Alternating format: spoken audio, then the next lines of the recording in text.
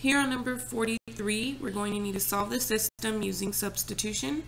So to do that, we need to isolate one of the variables um, in one of the equations. Now, if I were to choose the top equation, I would have to apply the square root to isolate either x or y.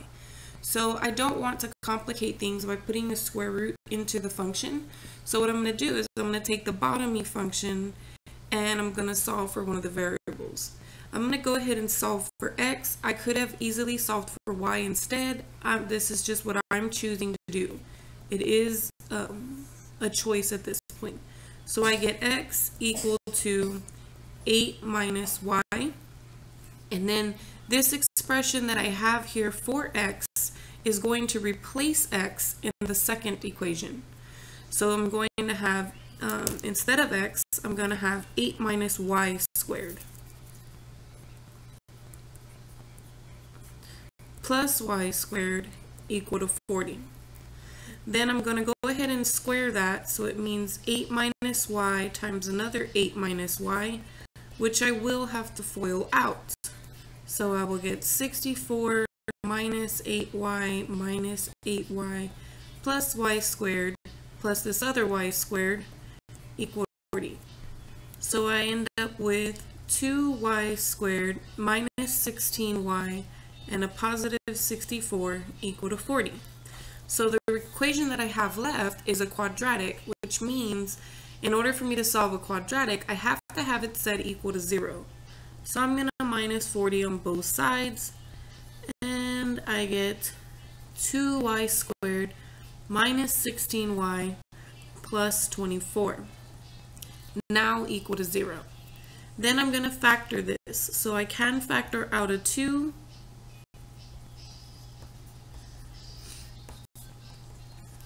However, um, if I were to set each fact, I cannot factor this any further because there's no factors of, oh, I'm sorry, that shouldn't be 3. That should be 12. Since I'm only factoring out a 2. Ah, then it might be able to factor this. Let's see, two factors that multiply to give me 12, but add to give me negative 8. Um, 2 and 6 will do that. And they'll both need to be negative to multiply to give me a positive, but combine to give me a negative 8. So then if I set each factor equal to 0, here there's no variable to solve for, and 2 does not equal 0, so there won't be any solutions given from that factor. However, here I can add 2 to both sides and I get y equals 2 and I can add 6 to both sides and I will get um, y equals positive 6.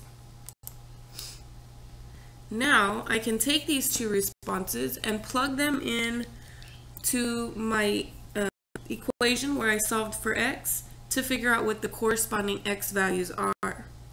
So if I take this problem and I plug it into here, I'm going to get x equals 8 minus 2, which is 6.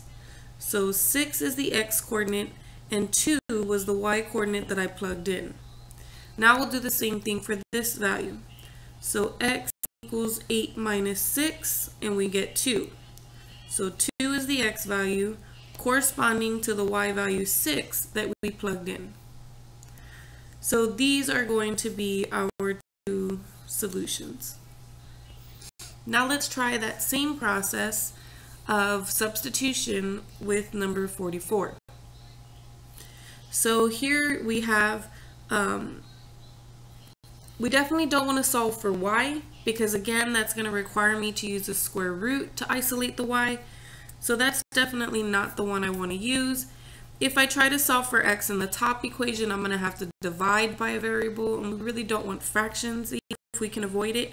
So what I'm going to do is I'm going to take the top, the bottom equation and minus y squared on both sides. So that gives me the equation x equals 5 minus y squared.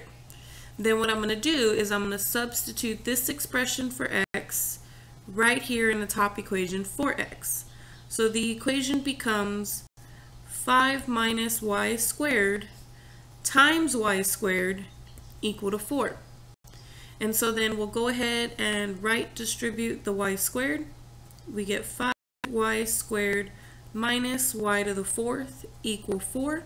Now this is a polynomial, and in order to solve polynomial equations, we have to get the 0 on this side. So I'm going to minus 4 on both sides. And I have 5y squared minus y to the fourth minus 4 now equal to 0. So I definitely want to put this in the correct order so that then I can attempt to factor this. So my y to the fourth is negative, my 5y squared is positive. If you don't like the negative in the front here, you can divide everybody by a negative. And you get positive y to the fourth, negative 5y squared, and a positive 4 equal to still 0.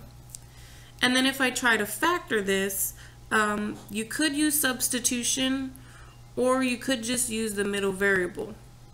Okay, I'm not sure which method you're used to doing this. Um, if you do use substitution, you can say something like let a equal y squared, which is the middle variable. Then a squared would be y squared squared, which is y to the fourth. So then this expression becomes this expression becomes a squared minus 5a plus 4 equal to 0. And if I factor this, I will get a minus 1 and a minus 4. So I will get a equal to 1 and a equal to 4. So then that a though, I was trying to solve for y. So remember that a represents y squared. And if I want to solve for y, I have to apply the square root on both sides. But when I do that, I'm going to get plus or minus the answer. So square root of 1 is 1.